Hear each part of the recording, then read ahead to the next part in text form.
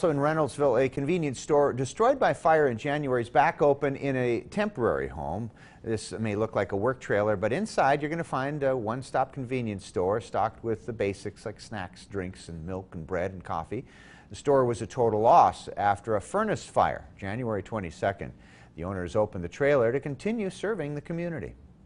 They've been very receptive to it, you know, so it's it's exciting to see everybody again. We missed everybody.